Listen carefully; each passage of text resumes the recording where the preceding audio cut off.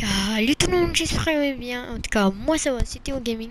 Je vous montrer les nouvelles couleurs de du nouveau tank, euh, bah, des nouveaux motifs pour euh, le tank, les motifs de Noël. Et voilà.